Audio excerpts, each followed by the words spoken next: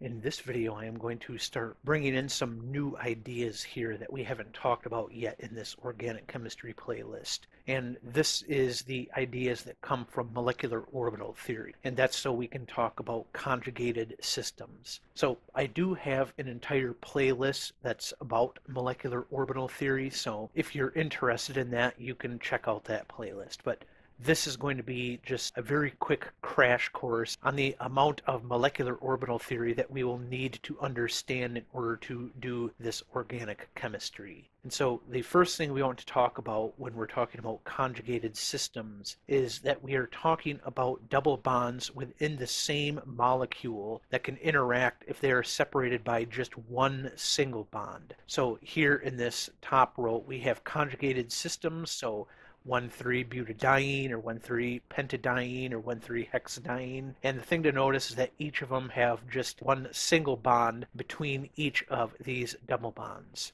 where these will not be conjugated because they have more than one single bond between those double bonds. And so when we are talking about conjugated systems, we're talking about alternating double and single bond systems. So you need at least two double bonds and they need to have only one single bond between them. And so one thing interesting about these is that they have quite a bit of extra stability. So if we just look at one pentene and we want to hydrogenate it, so H2 and platinum here, that will be exothermic, giving off negative 126 kilojoules. Then if we do an internal one, it's a little bit more stable, so only 116. If we have two of them here, then this is roughly the sum of two isolated double bonds. So the heat given off by this is roughly what you would expect from just two double bonds. Whereas when we have a conjugated system, this now goes down by quite a bit. So we went from negative 252 kilojoules to negative 225 kilojoules. So from adding, we would guess that this would be about negative 242 kilojoules because now we have an internal and a terminal double bond rather than two terminal double bonds. So remember our Zaitsev's rule, when we have more substituents on the double bond, it's more stable. And so if we have one of these internal, then that would bring down the energy a bit.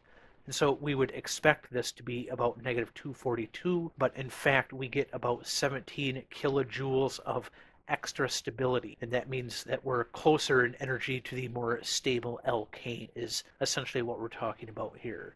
And if we have them right next to each other like this, so this is called a accumulated diene, then this is actually less stable. So now we're at negative 292 kilojoules where again we would expect it to be about negative 242.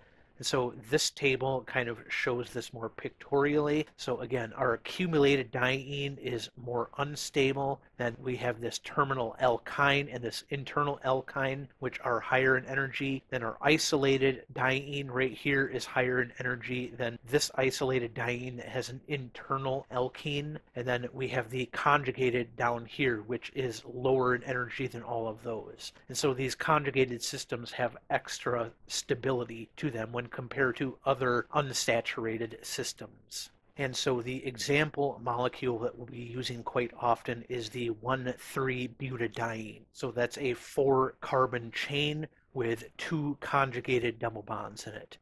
And this is a planar molecule because there is a pi bond character in the central bond. So what we're talking about is essentially the molecule that looks like this. So it's four members in here and then it has these double bonds right here. And what we're saying is that there is a partial double bond character between those two carbons along that single bond. So the central bond is shorter because it has more S character.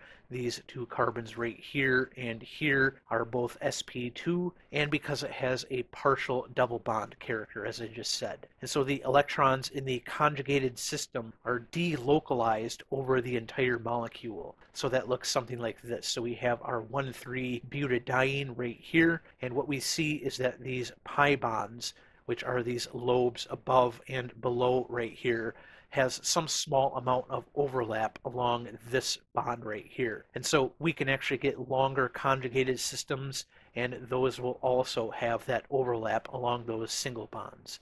And so that's what makes these conjugated systems behave quite differently than what you would expect from just having multiple double bonds. And so you might notice that this right here has the different colors for these lobes, and that is because those are in a different phase.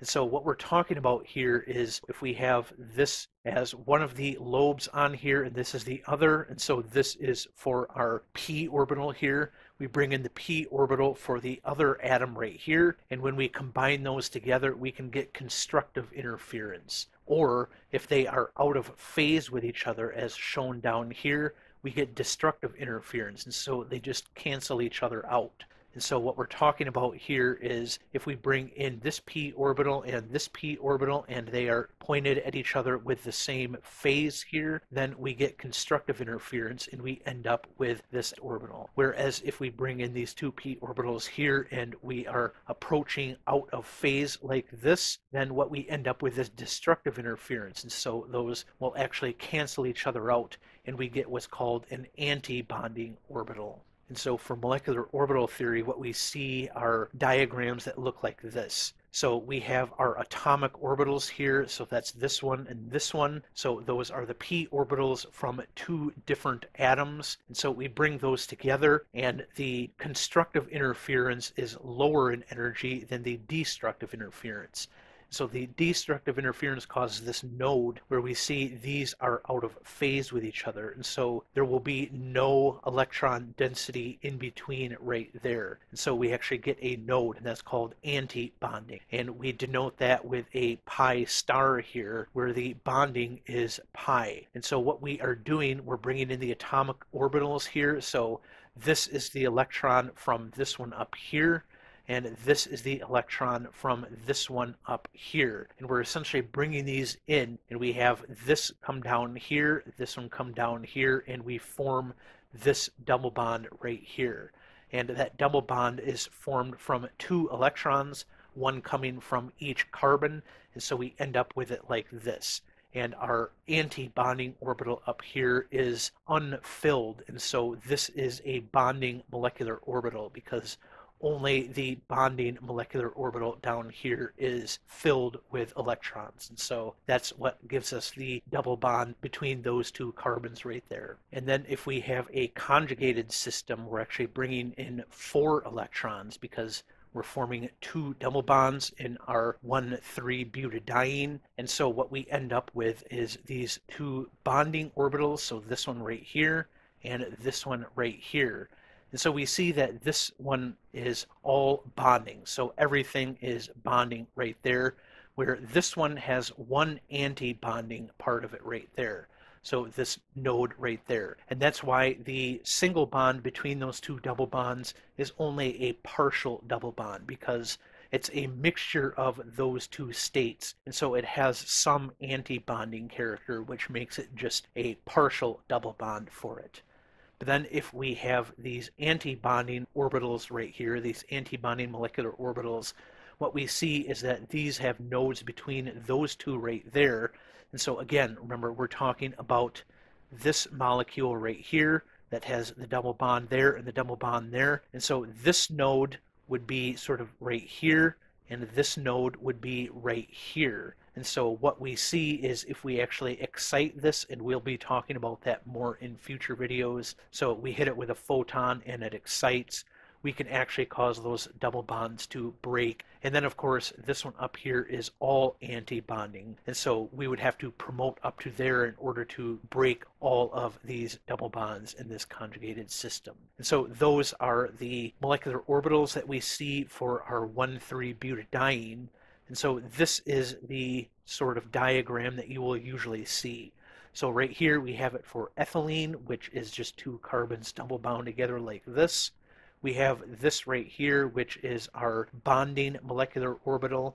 Up here we have our anti-bonding molecular orbital, and right here in the middle we have our non-bonding molecular orbital. And again, I will talk more about that in future videos, but that just means it's not bonding, but it's also not anti-bonding. And so that is the orbital where our lone pairs and our free radicals and things like that will actually end up. Then over here we have the 1,3-butadiene, So we have our bonding molecular orbitals down here and our anti-bonding ones up here.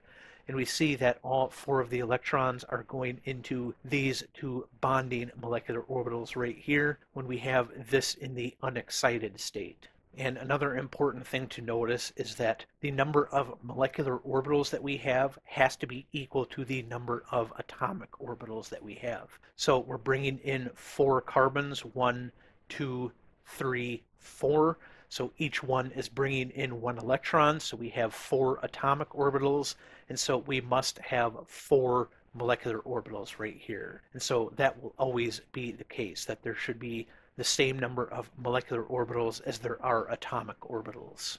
Another thing to notice is that we denote the bonding molecular orbitals as pi 1, pi 2, and so those don't have the stars on it, where anti-bonding are the starred ones here. And yet another thing to notice is that every time we go up one energy level, we are adding a single node onto here. So we get one node, we go up to the next one, we have one and two nodes. We go up another one. We have one, two, and three nodes right there. So we always go up by one node every time we go up by an energy level. And because we have that partial double bond character between the C2 and C3 atoms in our 1,3-butadiene, this is why the molecule is planar. So we don't have these sticking off in different directions this double bond right here and this double bond right here will be pointing in the same direction. So these conformations that we can take are called the S trans and the S cis, where the S stands for single because we're talking about essentially trans and cis around this single bond right here. So we have the S trans where we are trans around that single bond right there, and we have the S cis where we are cis around that single bond right there. And we see that the S cis is going to have this mild interference here because we have these groups right here and we could be even more substituted on there, but even with the hydrogens we get some mild interference. But when it's just the hydrogens there, the S trans conformation is more stable than the S-cis conformation, but the rotational barrier is only about 20 kilojoules per mole compared to the 250 kilojoules per mole if that were a double bond around there. So if this bond right here were a double bond rather than a single bond, it would be an order of magnitude more energy to actually interconvert between these. And so because it's such a small amount of energy, these two conformations can easily interconvert at room temperature. But anyway, that was everything I wanted to talk about in this video. I hope you found this helpful and I will see you in the next one.